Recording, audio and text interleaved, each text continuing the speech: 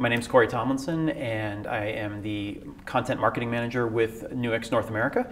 I have the pleasure of actually introducing Gerard Ryle from the International Consortium for Investigative Journalists. Uh, welcome, Gerard. Thank you for joining us. No, thanks for having me. It's great. Um, could you do uh, just give us uh, a little bit of uh, your background, your history, and, and, uh, and, the type of work that you do? Sure. Well, I'm the head of the ICIJ, which is a non-profit organization based in Washington, D.C. And what we do is we bring investigative journalists from around the world together, basically to work on stories across borders. Um, I'd say we're a non-profit. Uh, we work with big media organizations, pretty much the biggest media organizations in the world, but also the smallest little outlets and single person organizations from across Asia, Africa, Europe, and everywhere else. And uh, basically, we exchange information and we work on stories together as a team. We, uh, we have you uh, talking about the work that was published in April of 2016 on the Panama Papers. So, um, can you tell us a little bit about uh, everything that went on and, uh, and who you worked with on that? Sure. Well, this was um, uh, information that had come to one of our media partners, um, a German newspaper called Süddeutsche Zeitung. And they'd been given information from a, an anonymous whistleblower, someone who didn't tell them who they were, a guy called John Doe. And he had obtained about 40 years of records of a Panamanian law firm called Mossack Fonseca. And Mossack Fonseca was pretty notorious in the offshore world. Basically, it sets up accounts for rich and powerful people who like to keep secrets in offshore tax havens like, say, the British Virgin Islands. Um, this was an enormous amount of information. In the end, we had about 11.5 million documents representing about 40 years of records of this firm. Every spreadsheet from the firm, every client file, every email, basically, for 40 years. It was a huge cache of information, the biggest leak of information in history. And so we had to work out how to tackle it. So when you talk about 11 plus million documents, and I think uh, the number was over two terabytes worth of information, yeah. How did Nuix come into play with that and in, in helping you work through all of the uh, all the information? Well, the information came in. It wasn't. It didn't come in in an ordered form. We didn't have it all set up in a nice, easy way. There were different. Um, there were spreadsheets. There were image files, um, emails, as I said. And so basically, we needed software that was going to digest all of this information and make it easy to read for the journalists that were going to get involved. So that's where Nuix came in. We, um, when we have big data sets like this, we always turn to Nuix initially, and we digest the information using Nuix, and we have the journalist begin the operation by looking at the information using the Nuix software.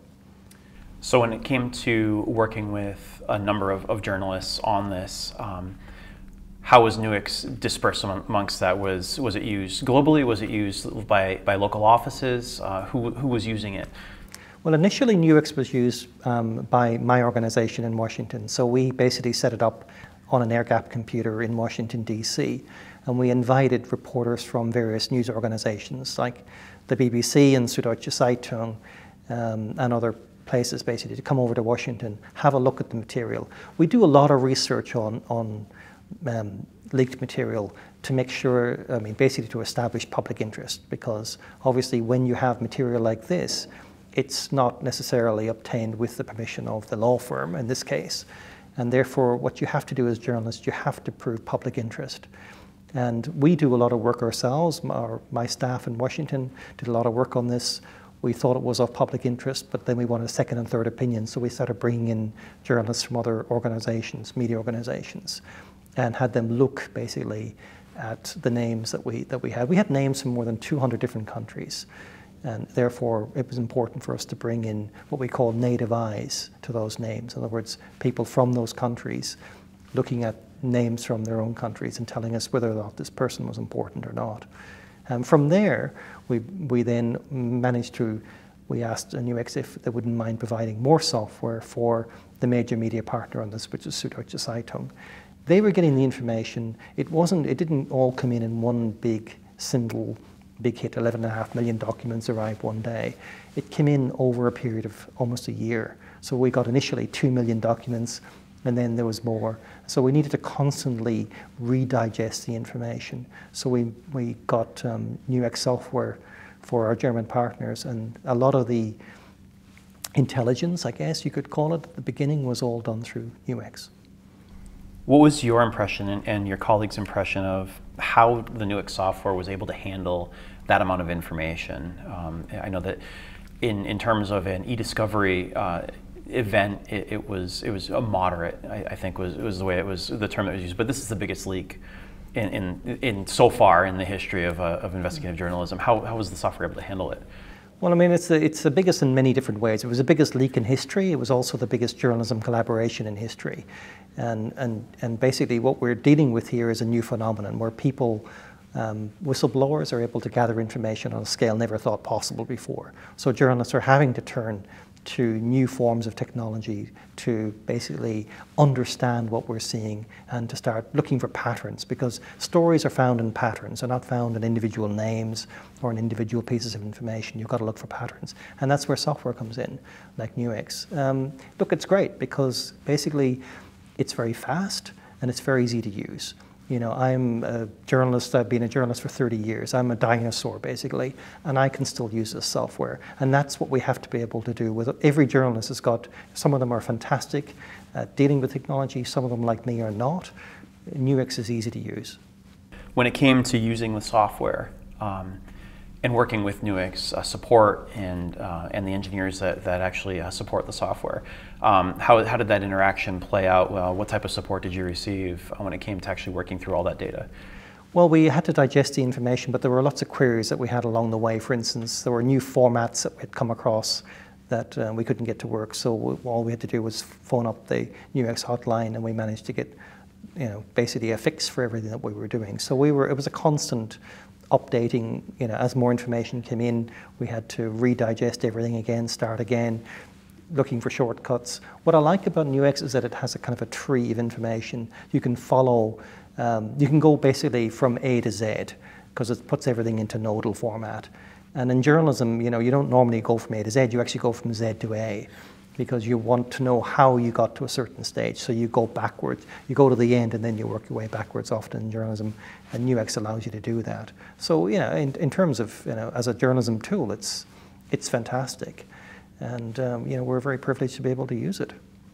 When it came to working and supporting you, um, my understanding is that that Nuix we had no uh, no visibility into the data itself. Um, did, was that a, de a, deterring factor in terms of supporting the, uh, the work or?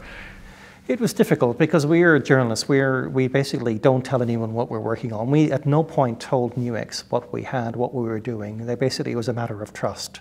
We didn't even tell Nuix what size of the data we had because we were working locally. In other words, we, were, we had air gap machines that were using Nuix, um, and therefore we didn't have to tell Nuix the amount of information we have. We just said we've got a lot of information in a lot of different formats.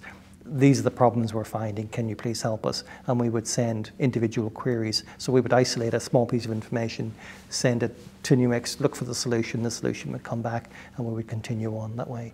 But it's very important for us that no one knows what we do. Everything we were doing was very, very secretive. I mean, you're okay. You're working with 400 journalists and 76 countries, you're working with 109 media organizations.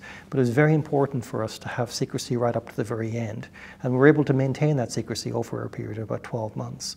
So uh, again, from that point of view, the software was perfect for us because we didn't have to tell Nuix what we had, what we were doing. This is not a closed matter, obviously. There's still a lot to go. Um, mm. How do you envision the, the future uh, the future progressing for the Panama Papers story and for for the uh, the, the data? How long? I guess the two questions really: how long and um, and and how do you see it progressing? Well, we're continuing to work on the Panama Papers still. We, we, we started publishing in April, but then we managed to publish a searchable database of the basic information. Again, some of that early work we did using Nuix helped us identify and put things, because we then started putting things into nodes ourselves using different open source software.